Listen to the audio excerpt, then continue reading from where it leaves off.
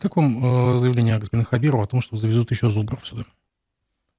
А, Хабиров, он, ну как сказать, он считает, что он упертый, но здесь э, упрямость, она граничащая с э, безумием в том плане, что он, они даже не потрудились объяснить, а зачем вообще в Мурадымовском ущелье нужны зубры.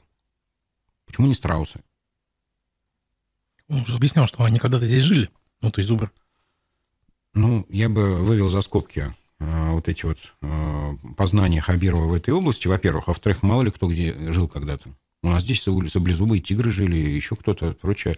Ну, нет, я к тому, что я не спорю, пускай будут э, зубры, там, они, конечно, обходятся в копеечку.